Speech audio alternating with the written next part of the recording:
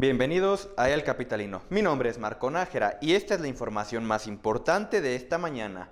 Comencemos. Comenzando con información nacional, el presidente Andrés Manuel López Obrador informó que el avión presidencial estará en el Aeropuerto Internacional Felipe Ángeles a cargo de la empresa Olmeca Mayamexica, la cual opera dicha terminal aérea.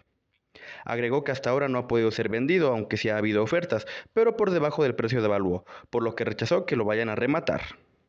Además, el mandatario dijo que el avión es tan lujoso que convertirlo en una aeronave comercial costaría muy caro.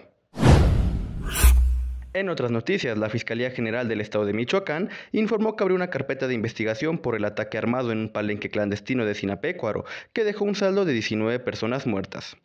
De acuerdo con los primeros reportes, un grupo armado irrumpió en el sitio y disparó a los asistentes.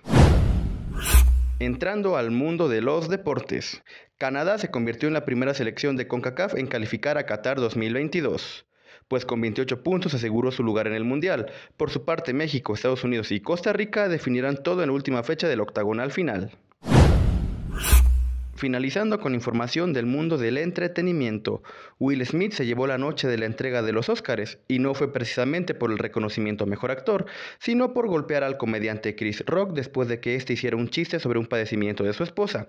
Durante su discurso, el actor aseguró que actuó por amor. Hasta aquí la información más importante de esta mañana. No olvides seguir las redes sociales de El Capitalino. Mi nombre es Marco Nájera. Considérese informado.